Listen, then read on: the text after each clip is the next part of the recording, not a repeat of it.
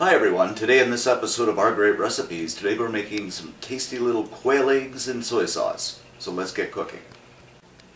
First we have quail eggs, soy sauce, white vinegar, apple cider vinegar, onions, brown sugar, garlic, salt, green chili peppers, and water. The first step, I've got a pot of water here and I've got it to a full rolling boil. And I've got my quail eggs at room temperature. Um, if they're too cold, they're going to, to crack on you. And I'm going to just take a ladle and gently place the eggs in. Once my eggs are in, I'm going to slip a top on the pot and set the timer for about five or six minutes.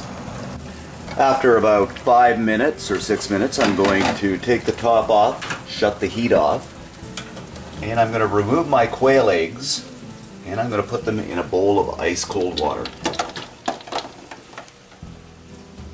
After about 10 minutes, my eggs have sat in the cold water and it's very important to let them cool completely, get them nice and cool, otherwise you're going to have trouble peeling them. I'm going to remove the eggs, give them a tap, and begin to peel.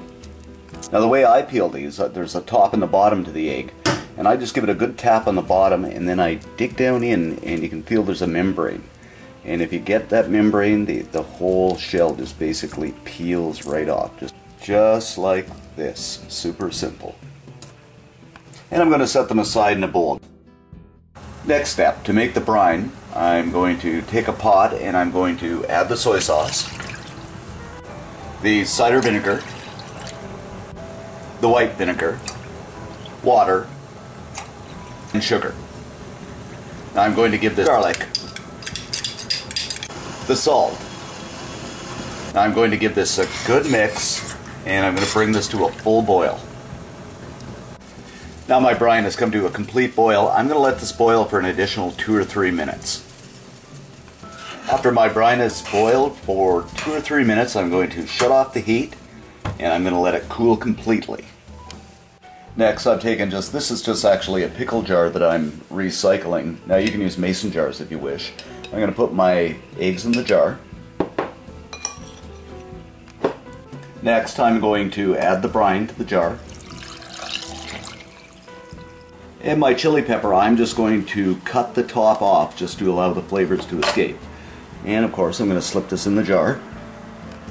Now my onion wedges.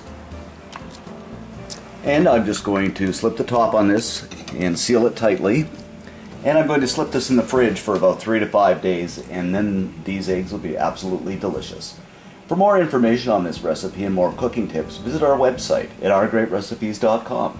And as always, have a wonderful day and bon appetit.